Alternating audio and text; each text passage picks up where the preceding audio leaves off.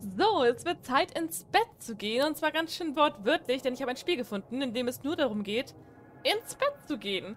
Und ich weiß, das ist die Lieblingsaktivität von bestimmt 90% der ganzen Menschheit. Also, ab ins Bett. Und zwar jetzt. Situation 1. Subject A. Okay. So, okay, kann ich mich bewegen. Ich musste erstmal Space drücken. Okay, es ist sehr pixelig. Ein schönes Gemälde, oder? Bewegt sich das? Nein, das sind nur wir, die so komisch aussehen.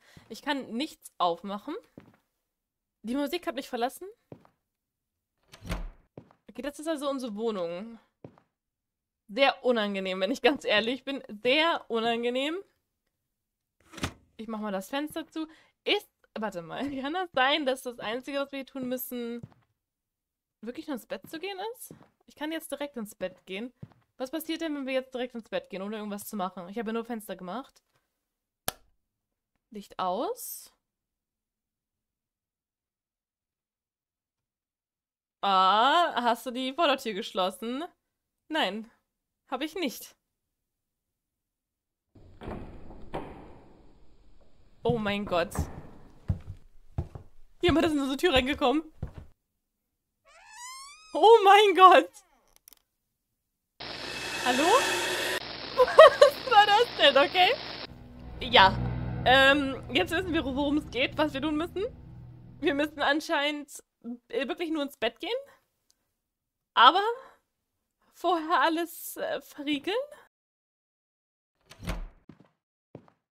Also, dein Fenster war richtig. Fenster zu. Also haben wir irgendeinen komischen, gruseligen Stalker. Und die Tür zu. Oh, mit einem fetten Schloss. Und ist das eine Klimaanlage oder ist das eine Sicherheitsanlage? Ah, Security. Warte, ist das jetzt an oder aus? Das sieht aus, als ob es aus wäre mit dem roten. Sonst gibt es hier ja nichts, ne? Also wir müssen uns halt wirklich nur ins Bett begeben. Ich würde ja sagen, wir sind wahrscheinlich jemand, der super paranoid ist und alles dreifach überprüfen muss. Aber das scheint mir ziemlich normal zu sein hier. Tür kann ich nicht abschließen. Ich mache Licht aus. Nein, ich kann, ich kann kein Licht ausmachen. Ähm, ja, ich denke mal, wir haben hier einfach einen komischen Stalker und das ist äh, unsere Geschichte. Wir denken uns die einfach aus. Wir haben einen gruseligen, ekelhaften Stalker, der sich versucht, hier reinzuschleichen in unsere Wohnung und das schon seit Wochen. Und die Polizei hilft uns natürlich nicht. Diese verdammte Susanne, ja, die kommt immer an, jedes Mal. Erstmal wollte sie was von uns, wir haben Nein gesagt, ganz nett lieb nach einem Date, hat nicht funktioniert. Jetzt äh, stalkt sie uns und versucht uns nachzustellen und Einmal haben wir ihr eine, also per Post eine ähm, einstweilige Verfügung geschickt und seitdem ist sie auf Krieg aus. Sie will uns nicht mehr lieben. Sie will, dass uns niemand anders mehr lieben kann. Und deswegen müssen wir jetzt alles in die Wege setzen, um sie zu stoppen. Wie Security, sich Alarme, ähm, Türen verschließen, Fenster verschließen und ungefähr nur so vier Stunden Schlaf pro Tag bekommen, weil ansonsten kriegen wir kein Auge zu. Und ja, ich habe die Vordertür geschlossen. Ich habe sehr viel geredet gerade. Hey, Susanne, ich habe keine Zeit, okay? Verschwinde einfach. Das Fenster habe ich auch geschlossen, ja? Ganz ehrlich, das ist super gruselig. Stellt euch mal vor, ihr seid in so einer Situation. Ja, habe ich gemacht. Das ist Home Security. Oh mein Gott, die bricht sogar das Fenster ein. Kommt die nicht trotzdem jetzt hier rein? Was? Hast du die Messer versteckt? Messer? Oh nein, Susanne! Nein, ich habe keine Messer versteckt. Bitte komm jetzt nicht hier rein. Oh mein Gott, sie hat mit den Messern das Security-System ausgeschaltet. Susanne? Nein. Oh, es ist gruselig. Susanne, nein. Nein. Oh, Susanne. Was zur Hölle? Messer verstecken, ernsthaft? Und sowas müssen wir denken? Okay, Susanne hat ihren Wunsch erfüllen können. Niemand wird uns mehr lieben. Eieiei, okay. Das Spiel ist. Das ist. Ich krieg Gänsehaut, weil diese Situation, diese Vorstellung, dass man alleine zu Hause ist und man, man kann einfach nicht, weiß ich nicht, man, man hat einfach Angst, dass jemand einen verfolgt und muss alles versuchen, damit die Person nicht reinkommen kann. Und dann hört man klopfen und Scheren und, äh, nicht Scheren, aber Messer mit den Security-Alarms verschlossen werden und alles. Oh, richtig unangenehm. Ich finde es auch so unangenehm, wenn äh, wenn ich alleine zu Hause bin. Oh, ich mag das gar nicht. Ich hasse das. Also ab und zu geht das, aber die meiste Zeit ist das einfach nur gruselig. Ich hasse das. So, meine Messer. Mein, meine. Die darf sie nicht haben, verdammte Susanne. Ich hoffe, jetzt ist alles okay. Hier ist aber sonst nichts weiter, oder? Licht? Nein. Was ist das? Dann kann sie mir auf den Kopf schlagen. Nein. Weißt du was? Hier fehlt ein Teppich. Dann wäre das schon viel gemütlicher. Und eine Zimmerpflanze. So, jetzt aber. Okay. Das ist ein sehr helles Licht, was da neben dem Nachttisch stehen hat. Ne neben dem Bett. Ja, habe ich abgeschlossen. Oh, es ist gruselig. Nein, du kannst nicht reinkommen, Susanne. Ja, Fenster ist zu. Es ist so gruselig. Oh mein Gott. Ich kriege die Gänsehaut jedes Mal, wenn irgendein Geräusch kommt. Ja, ich habe es angeschaltet, das Alarmsystem. Oh, die Frau. Verdammt. Ja, ich habe die Messer versteckt. Die Polizei kommt, Gott sei Dank. Kommt noch irgendwas, was ich machen muss? Oder habe ich es geschafft? Bringt Susanne mich um? Oh, wir haben es geschafft. Sehr gut, wir haben es geschafft. Niemand will reinkommen. Wer wird reinkommen? Ich meine, sie... Eigentlich kann ich mir vorstellen, dass sie schon längst drin ist. Sie hat ja nach den Messern geguckt. Und ich denke mal, Susanne hätte uns so oder so umgebracht. Bern, ähm... Ja, ich meine, einen Alarm hätte sie, glaube ich, nicht aufgehalten. Oh Gott, was ist denn jetzt unsere Geschichte? Okay. Ich bin, äh, eben, eben waren wir der Johann mit der Susanne. Jetzt sind wir die, äh, Jill. Wir sind Jill und, ähm, wir haben erst unseren Job verloren. Ist jetzt ein paar Wochen her. Wir haben im Supermarkt gearbeitet. Ich meine, ah, die Arbeit war ätzend. Aber jetzt mal ganz ehrlich, jeder muss irgendwie ein bisschen rumkommen. Ich musste jedes Mal Boden wischen und irgendwelche ekelhaften Reste von Wänden kratzen, von denen ich nicht mal wusste, was sie waren. Es war ein Dreckshop, ganz ehrlich. Jetzt, ich kann nicht mal für meine eigene Wohnung sorgen. Ich habe verdammte Müllsäcke in meinem Zimmer liegen, weil dieser Geruch stört mich nicht mal mehr. Meine, meine Nasenschleimhäute sind schon verätzt von dem ganzen Gestank im Laden. Meine Wäsche mache ich auch nie. Ich kann mich nicht mal hinsetzen in meinen Stuhl. Ich kann mich nicht mal hinlegen. Nein. Ah, ich habe mich auch so... ich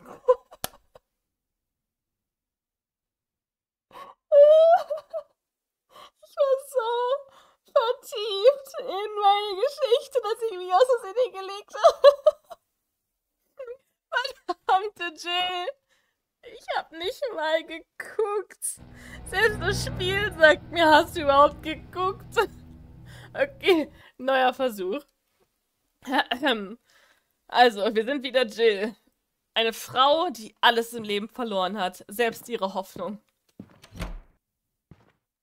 Sie lebt in einem kleinen Haus, ja, mit einem fetten Kreuz beim Fernseher. Eigentlich sind das Kartons, aber es ist, es ist, es ein, es ist einfach ein Schrank mit einem fetten Kreuz, so habe ich das jetzt gesehen. Überall liegt Müll rum und eine Falltür? Okay, nicht gruselig oder so. Also Jill hat eigentlich nicht viel im Leben zu fürchten. Eigentlich hat sie vor kaum irgendwas Angst. Allerdings hat sie gemerkt, dass ihr, ihr letzter Manager, der war nicht so erfreut über ihre Arbeit, ja. Und sie hat Ah, sie wurde gefeuert, weil sie ein bisschen was mitnehmen lassen hat. Zumindest wusste der Manager, dass sie das hat, aber er konnte es nicht beweisen. Und deswegen versucht er jetzt schon seit Wochen, sie zu erreichen. Drei Wochen, um genau zu sein. Sie weigert sich und der Manager, der das nicht beweisen kann, kriegt er den Ärger. Und deswegen will er sie ausfindig machen und ihr das Geld klauen. Selbst wenn er sie dafür kidnappen muss und das Geld von ihrer Familie erpressen muss. Selbst dann. So, meine Messer muss ich hier noch irgendwas anderes machen? Ich meine, da ist eine Falltür und das finde ich sehr bedenklich. Ich kann damit nur nichts tun. So, also.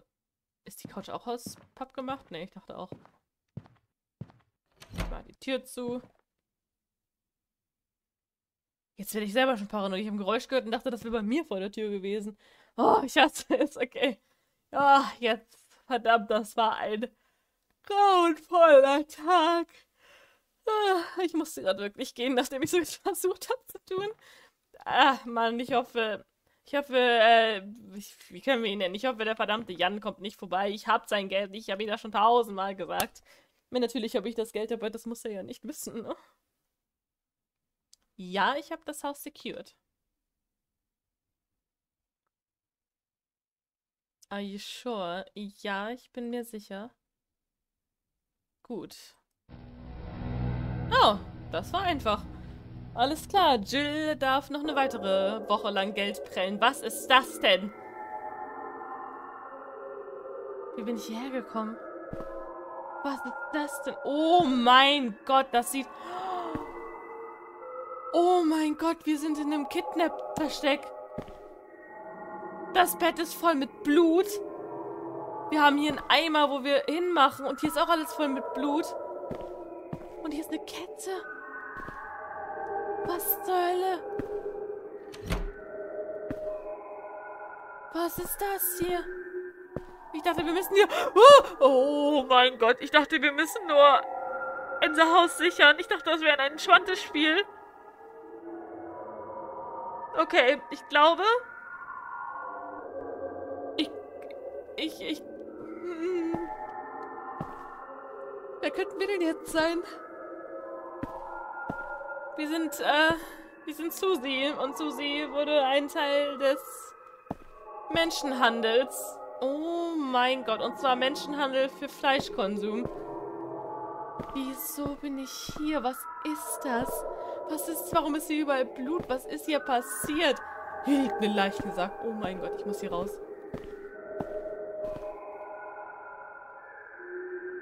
Mein Gott, da liegen auch Kettensägen. Nee, nicht Kettensägen, Sägenblätter. Oh Gott. Mariana? Bist du das? Oh nein. Wir haben sie verloren. Oh, ich krieg echt Gänsehaut gerade. Okay, alles gut. Oh, ein Schlüssel. Warum hat die Musik aufgehört?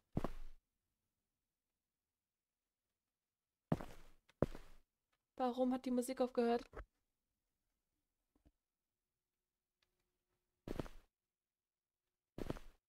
Oh mein Gott, Mariana ist weg. Mariana ist weg. Sie ist nicht tot. Mariana ist weg. ich will nicht. Hallo, ich möchte bitte nicht so enden wie die. Die Leichen. Oder die Geschlachteten. Ich möchte das nicht. Ach, warum kann das. Warum kann es hier nicht einfach. Das ist, glaube ich, das wäre mein schlimmster Albtraum, Mann. Irgendwo gefangen zu sein. Kidnappt. Ketten. Und dann auch noch in Räumen, wo es nicht mal Licht gibt. Ich kann. Stand da gerade E zu use? Nee, das war, glaube ich, die Tür einfach nur. Ich will gucken, ob hier irgendwo was ist. Ich vermisse mein Schlafzimmer. Kann ich nicht einfach. Ich kann tatsächlich einfach ins Bett gehen, ne? Das war doch eben. Ja. Ich kann einfach ins Bett gehen, wenn ich will. Hä? Da. Ich gehe lieber noch nicht ins Bett. Erstmal muss ich gucken. Mein Gott, was ist das hier? Okay, ich bin mutig. Puh, okay. Hm, Marianne, bitte sei nicht hier.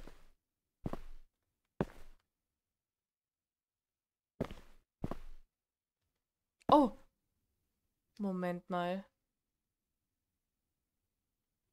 Das ist die... Das ist doch die Falltür. Von Jill. Ist Jill... Ist Jill ein Menschenschlechter? Ist das die... Jill ist der Menschenschlechter. Oh mein Gott, wir hätten ihr nicht helfen dürfen. Wir hätten... Wir spielen also auch böse Leute? Deswegen hat er eine Falltür gehabt. Die verdammte Chillmann. Und die Messer sind versteckt. Und wir können nicht raus. Oh mein Gott, hätten wir was da gelassen. Nein. Wir haben uns selber damit umgebracht. Nein. Oh mein Gott. Wir können aber die, die mh, mm, wir haben nichts, wir haben keine Messer. Verdammt. Jill war die Böse.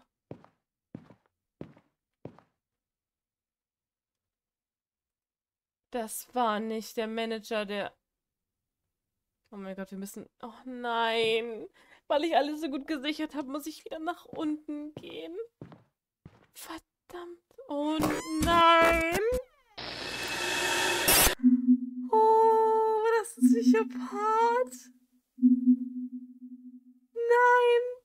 Wir haben uns selber umgebracht. Wir haben den Psychopathen verteidigt.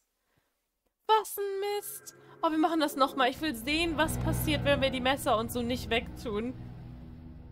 Verdammt. Wir können auch die Bösen spielen. Ich dachte, wir sind einfach nur jemand, der paranoid ist oder verfolgt wird. Aber nein. Was ein Mist. Oh mein Gott. Ganz ehrlich, das ist super gruselig. Verdammte Jill, ey. Haarlos ist sie und hat einen komischen Keller, wo sie Menschen hält und sie schlachtet. Ich meine, die sind tatsächlich geschlachtet worden. Da hingen Leute rum. Und da war, wo ist Mariana eigentlich hin? Ich weiß immer noch nicht, wo die hin ist. Ja, habe ich. Ich meine, die Leiche war einfach weg. Wo war die denn eigentlich wirklich? Das ist, hm. Ja, ich habe alles gecheckt. Das ist alles in Ordnung. Wenn ich No drücken würde, würde wahrscheinlich trotzdem einfach normal weitergehen, ne? Denke ich mal.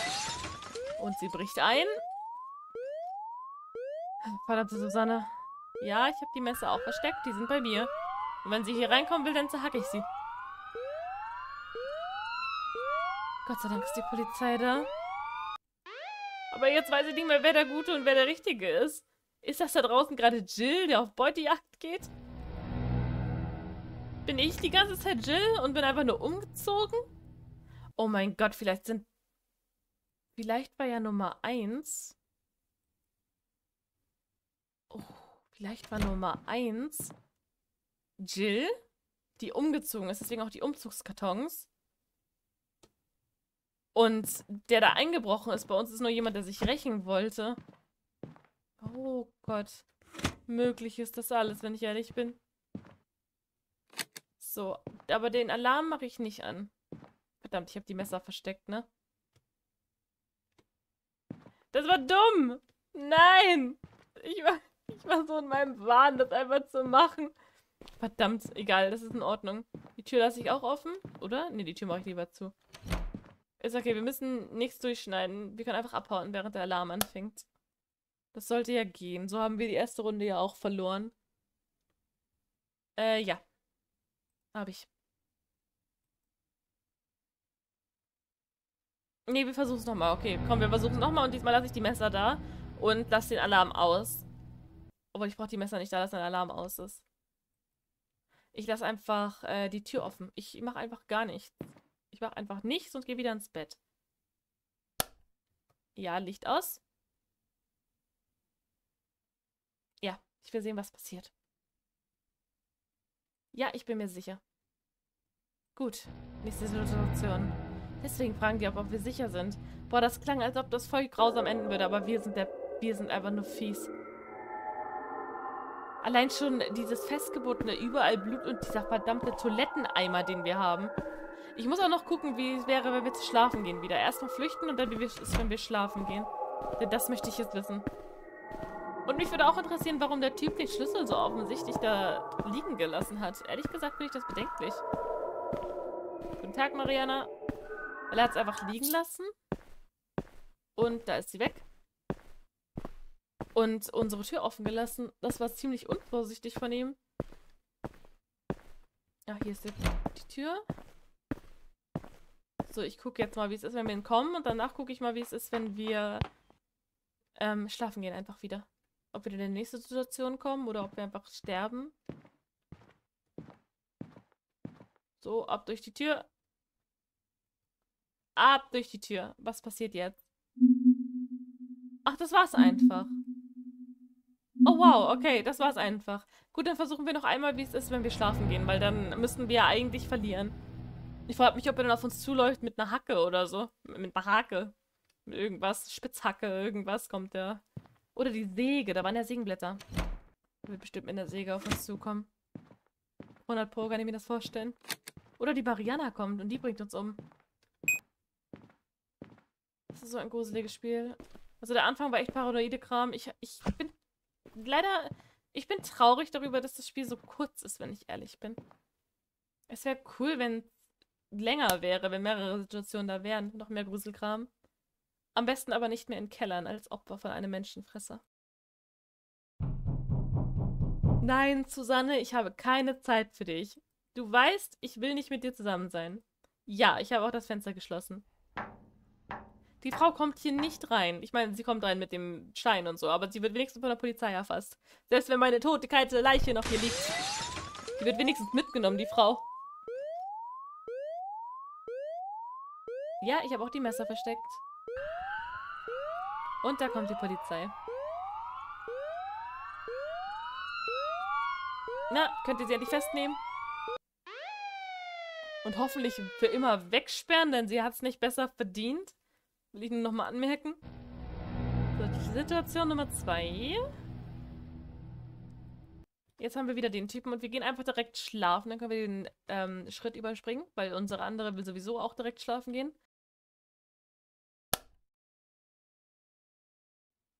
Ja, Licht aus. So, ja, wir haben das Haus durchsucht und gesichert. Ja, wir sind uns sicher. Gut, nächste Situation und wir gehen einfach direkt schlafen. Mal sehen, was passiert. In diesem verdammt... Das ist so ein verstörender Raum. Es macht mich auch so traurig einfach. Meine Güte. Weißt du, wenn man schon jemanden kidnappt, kann man den denn nicht wenigstens besser leben lassen als das? Oh, Mann. Wie? Ich kann nicht schlafen gehen. Nein, ich möchte schlafen gehen. Ich darf nicht schlafen gehen. Oh, ich darf nicht schlafen gehen. Ich will aber schlafen gehen.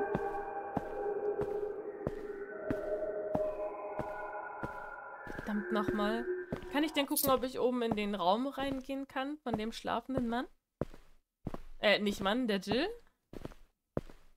Vielleicht können wir Jill im Schlaf beobachten. Wir gucken mal, ob das geht. Wenn nicht, dann kommen wir einfach nochmal und dann ist das Spiel vorbei. Aber das wäre traurig. Das Spiel ist so gut. Ich hätte gerne mehr davon. Hauptsache, was hat er eigentlich für eine Wohnung gefunden? Das sieht aus wie eine ganz normale Wohnung und kein Haus. Und dann hat er unten noch diesen riesen Kellerbereich. Ich kann hier leider nicht reingehen, ne? Okay, es ist offen. Also gehen wir einfach da durch. Gut, das war es leider. Schade, ich hätte gerne noch mehr gesehen mit diesem Psychokeller. Das wäre interessant gewesen.